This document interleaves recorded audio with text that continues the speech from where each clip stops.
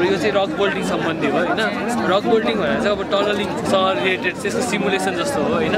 जस्तै अब हामी टनल बनाउँदै गयो रकमा टनलिङ गरेको छ। रकमा टनलिङ गरेको छ तल यो रक भयो होइन? अनि त्यसपछि गएर यो रक तल यसो देखाउनु।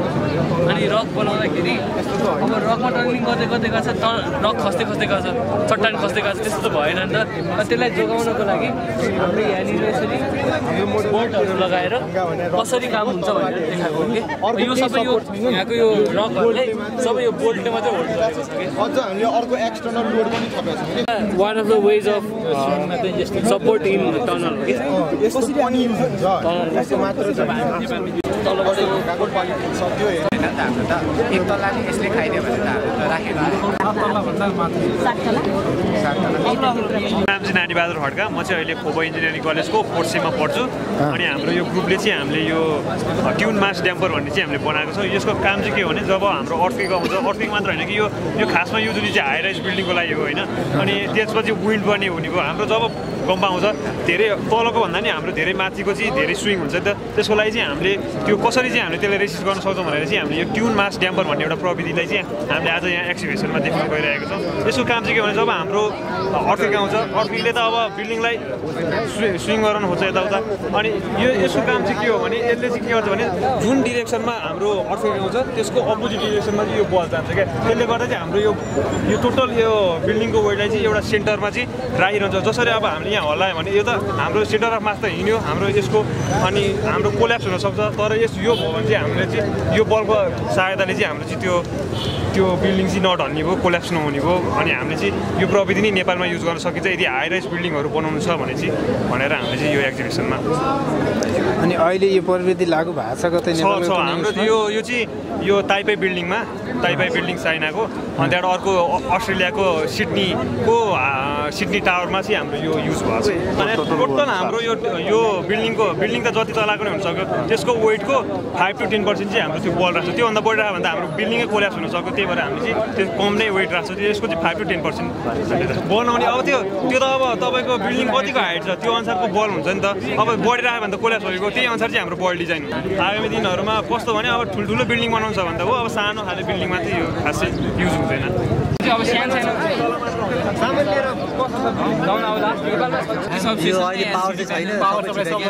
ट्युको सेकेन्ड इयरमा पढिरहेछौँ हामी पाँचजना बनाएको पाँचजना अर्को त्यस हामीले बनाएको यो प्रोजेक्ट चाहिँ खासमा ट्रान्समिसन लाइन फल्ट डिटेक्सन भनेर छ। यसले चाहिँ के गर्छ भन्दाखेरि यदि कुनै फल्ट आयो भने जस्तै अहिलेको लागि चाहिँ लाइन टु ग्राउन्ड फल्ट केही गरी एउटा वायर अब भूकम्पले होस् केले गर्दा होस् अब पोल ढल्यो अब बिल्डिङहरू ढलेर वायरहरू यदि ग्राउन्डसँग टच भयो भने त्यो हामीले त्यसलाई हामीले लाइन टु ग्राउन्ड फल्ट भन्छौँ।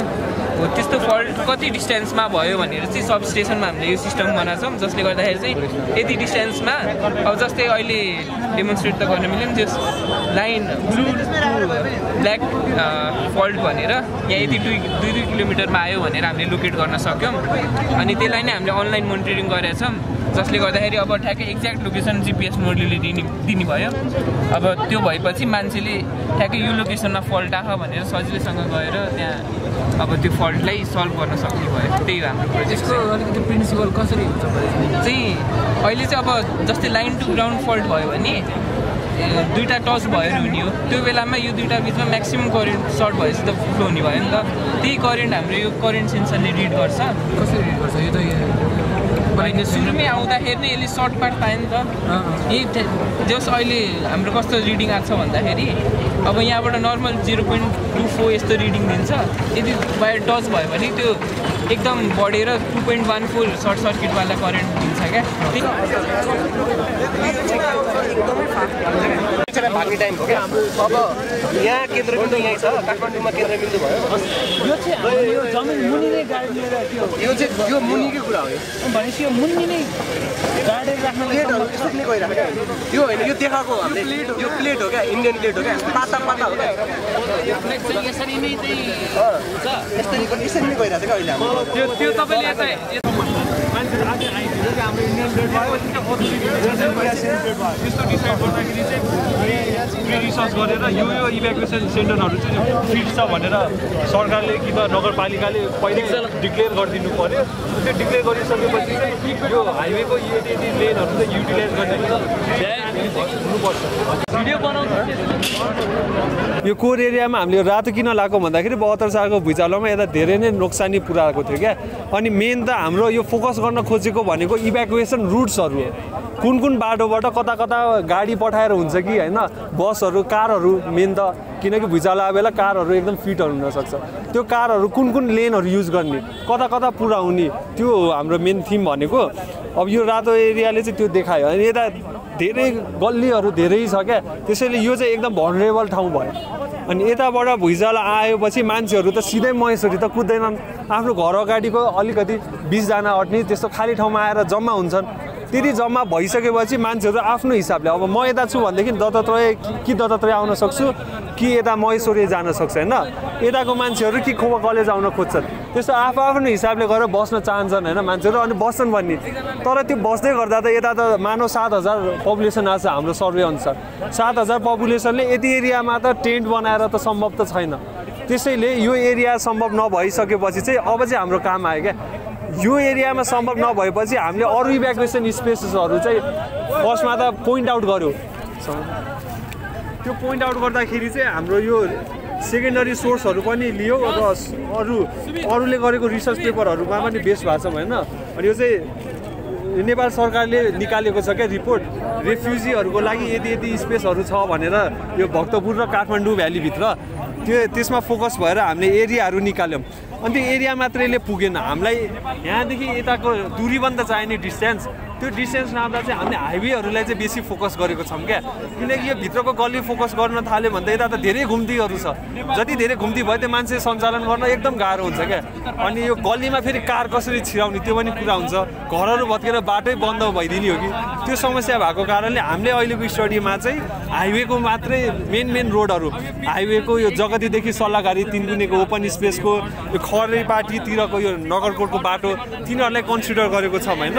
तिनीहरूलाई कन्सिडर गर्दाखेरि चाहिँ यो डाटा चाहिँ यो गुगल अर्थ प्रोबाट निकालेको हो।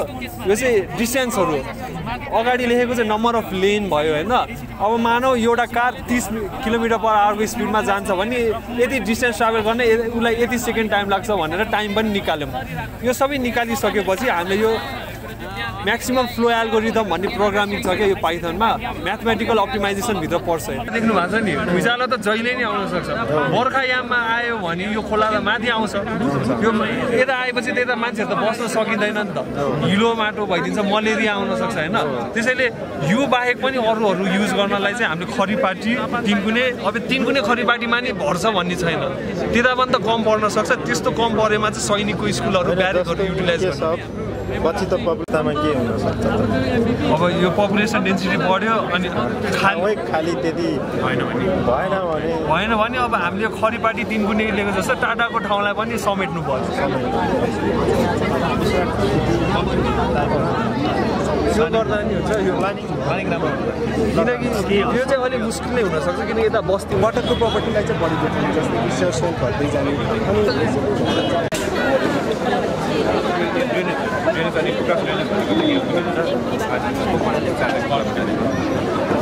सिक्स सेममा पढिरहेछौँ।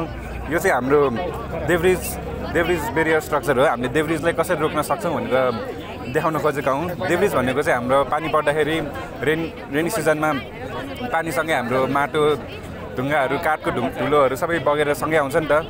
त्यसले चाहिँ हाम्रो ह्युमन सेटलमेन्टसम्म त्यो नपुगोस् ढुङ्गाहरू त्यो त्यो बिचमै रोक्नको लागि हामीले यो चेक ड्यामहरू इन्स्टल गरेका हुन्छौँ। यो चेक ड्यामले चाहिँ हाम्रो के गर्छ भन्दाखेरि यो सुरुको चेक ड्यामलाई चाहिँ हामीले सिल ड्याम भन्छौँ। यो सिल ड्यामको मेन काम भनेको चाहिँ यसले चाहिँ ठुल्ठुलो बोल बोल्डरहरू जस्तै रकको ठुल्ठुलो पिसहरू बोल्डरहरूलाई चाहिँ यसले यहीँ रिटर्न गरेर यसलाई पानी र अब सानो पार्टिकलहरू स्यान्डहरू चाहिँ यसले पास हुन दिने भयो र हाम्रो अर्को स्ट्रक्चर चाहिँ यो कन्क्रिट कन्क्रिट ड्याम हो र यसमा पनि हाम्रो यसमा चाहिँ सानो सानो होलहरू बनाएको हुन्छ। यसमा चाहिँ हाम्रो अब सानो सानो पार्टिकल स्यान्डहरू चाहिँ यसबाट पास हुन्छ र अरू सबै यसले यहीँ रिटर्न गरेर हाम्रो थर्ड ड्यामसम्म आइपुग्दासम्म चाहिँ हाम्रो सबै डेब्रिजहरू यिनीहरूले रिटर्न गरेर पानी मात्र सेफली फ्लो हुन दिने भयो। अनि हाम्रो चाहिँ यहाँ रिङनेस पनि छ। रिङनेसमा हामीले रिङनेस पनि त्यसकै पर्पजको लागि युज गर्छौँ। देब्रिजमा हाम्रो ढुङ्गाहरू बग्दाखेरि रोक्नको लागि नै युज गर्छौँ।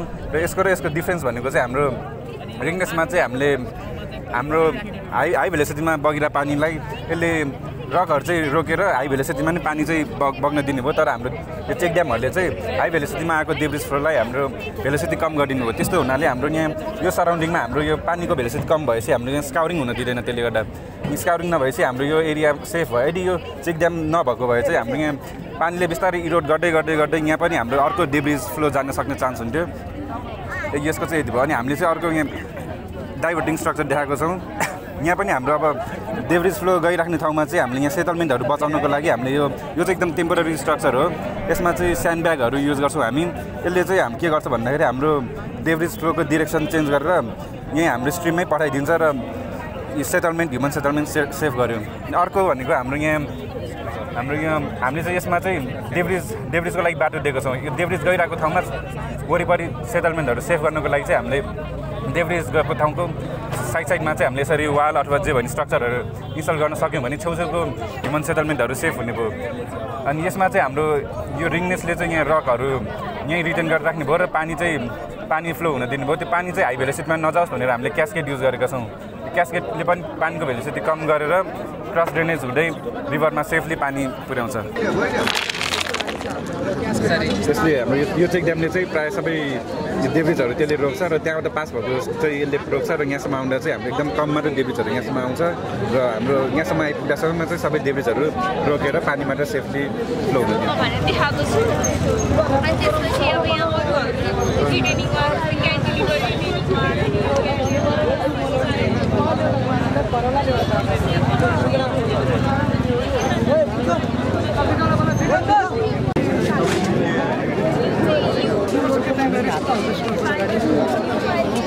हाम्रो फोटो यो भनेको हाम्रो यो स्याम्पल मात्र हो घरहरू चाहिँ मोडल बनिसकेपछि हाम्रो यो अछाममा हस्पिटल बनायो है यही स्टाइलको यही स्टाइलको यही मोडल युज गरेर